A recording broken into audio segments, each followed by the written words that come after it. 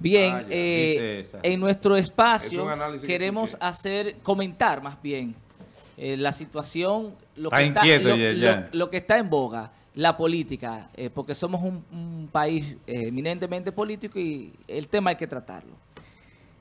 Antes del día 6 de octubre, yo había manifestado que si el danilismo se lo proponía, iba a derrotar a Leonel en todo el país. Yo quisiera que me coloquen ese video de hace varias semanas de lo que nosotros dijimos en este mismo programa, para que la gente entienda a qué uno viene aquí. Vamos a verlo.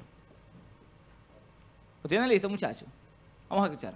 De modo que, que no está bien clara de lo que pudiera pasar el 6 de octubre. Ahora bien, lo que yo creo de manera particular es que si esa estructura del PLD realmente tiene la intención de derrotar a Leonel, lo, lo derrotan en todas las provincias.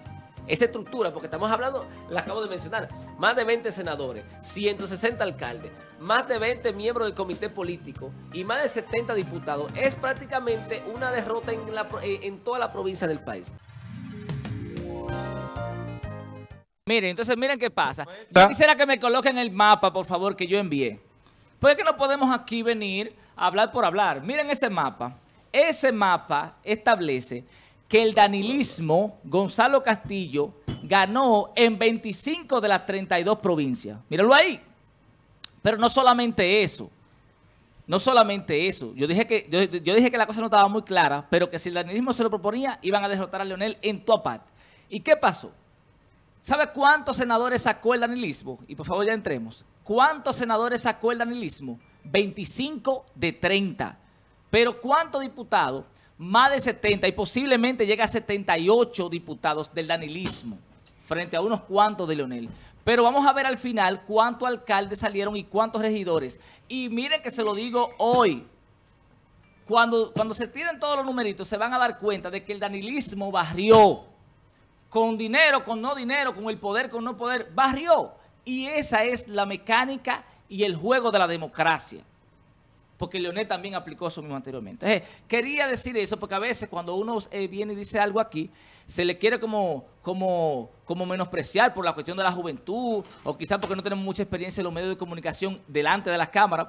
Porque eh, es bueno explicarle a la gente que nosotros tenemos nueve años produciendo este programa detrás y que ahora que nos dieron la oportunidad, pues entonces a veces como que uno que, como que hay gente como que se irrita con las cosas que uno dice. Yo le estoy mostrando parte de lo que yo he planteado anteriormente y miren los resultados ahí. Con relación al fraude que alega Leonel Fernández, yo quisiera que me pongan por favor las declaraciones que él dio el día 6 de octubre en la noche. Vamos a escuchar lo que dijo Leonel, pónganle atención a esto. Vamos a ver. La Junta solamente... Fíjense ustedes que Leonel hizo una afirmación categórica de que había un algoritmo que había, sido- colocado en el código fuente de la que sé yo qué, y entonces luego dijo, se ha adulterado la voluntad popular. Eso no es una suposición, eso es una afirmación categórica.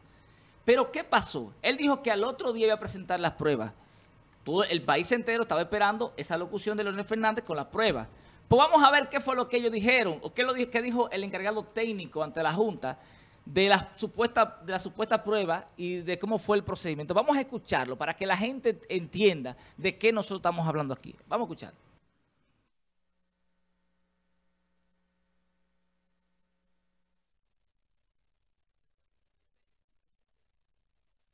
que yo se lo pedí, eh, es el técnico que no presentó, sí, Fernando Fernández, que no presentó ningún argumento técnico para sustentar la, la- la afirmación que había hecho Leonel. ¿Y qué decía Fernando Fernández? Me avisan cuando esté listo, que posiblemente, que supuestamente, vamos a escucharlo.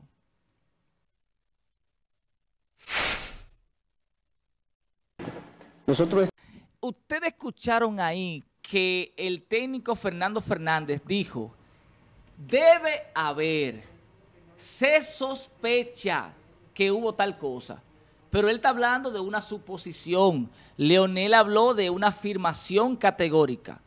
No es que sí debe haber, es que tiene que haber lo que usted dijo que, que había, porque usted hizo una afirmación que pudo haber provocado un lío en este país. Vamos a escuchar entonces, ahora sí, a Francisco Javier García, lo que él le, le, eh, emplaza a Leonel y a su equipo a hacer. Vamos a ver.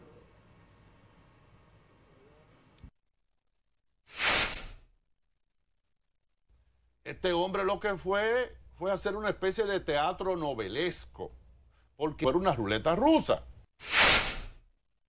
Ustedes escucharon lo que, lo que Francisco Javier García le dice. Si tú dijiste que hay algo, no me venga a mí ahora a decir que es a ver si encontramos algo, ¿no? Tú dijiste que hay algo y afirmaste que había algo ahí, entonces ese algo tiene que aparecer y ojalá que aparezca, porque aquí si hubo fraude, si hubo alguna alteración, debe quedar claro. Ahora lo que no podemos estar es con un relajo cada vez que una gente pierde a salir con un pataleo, una cuestión sin prueba. A eso es que yo he apelado. Y a propósito de eso, antes de pasar con lo de José La Luz, yo quiero que me pongan el tuit de, de Rubén Maldonado. El que salió ayer y que ustedes lo presentaron en la noticia aquí en el día de hoy, lo presentaron haciendo una denuncia en contra de una persona.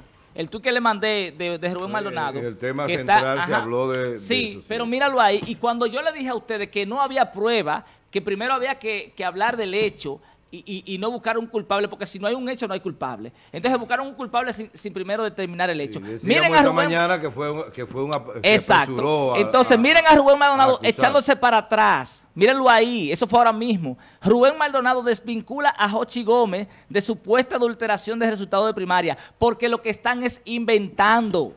Lo que están es inventando, se lo estoy diciendo aquí. Ese relajo nosotros no lo podemos permitir en este país de que una gente acuse a otro sin siquiera tener media prueba.